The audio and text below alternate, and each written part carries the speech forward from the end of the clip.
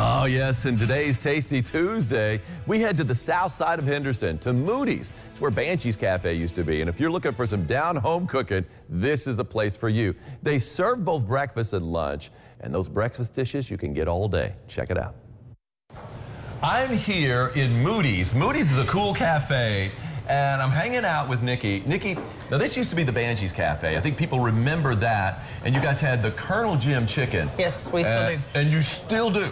So there are some things you've kept around, and this is one of those right here. Now, the chicken's what you guys are known for. Could you tell us a little bit of how you go about making this chicken, Nikki? Because it does look mighty delicious, and I'm going to tie into this here in a second. Well, we actually make it fresh to order, so you can either call it in or come in and sit down. But if you give us 20 minutes, we'll have it ready for you when you come in, or you can take it as a go order. 20 minutes, then you're good to go, right? Yes. Let me get a little drumstick, because they're fun to eat right there.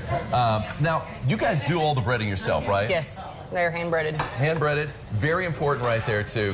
What is what are the other things that are really popular on your menu while I tie into this chicken? Uh, well, breaded tenderloins. That's about the only thing we did change. We are we have hand breaded tenderloins now. We can do them as a sandwich or as a plate lunch. How big are those tenderloins?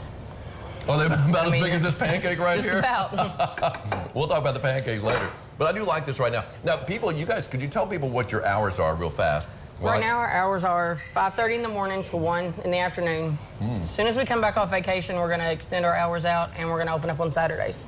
Okay, when's vacation time, by the uh, way? The 24th After. through the 30th. Okay, so then beginning in August, basically, yes. that's when you guys are going to be open a little bit later. Yes. So. But right now, what time? You guys open early for breakfast. Yeah. You got a lot of breakfast items as well, so it works out pretty well, too. Now, if people want like a dessert, after they finish this fried chicken, I know I'm making a mess of fried chicken. What kind of desserts do they have um, offered? I can see you've got some right here. We do free banana pudding on Mondays.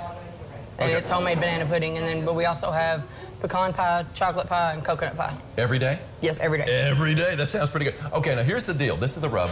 There is a big debate going on in the Rhodes family about how banana pudding needs to be served. Is it supposed to be served warm or cold? What is the answer to this, Nikki? Well, ours is warm because I make it fresh Monday morning and we don't, we do not refrigerate it. So uh, I'm going to tie into that right now too. Even though I've only got a fork on this one right here. I think the spoon's over there with us. We'll give it a go. Okay, it's Moody's Cafe.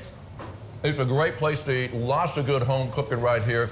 Next hour, we're going to be talking about their breakfast food. They got a lot on the breakfast menu too. Come on here, south side of Henderson. Moody's, delicious.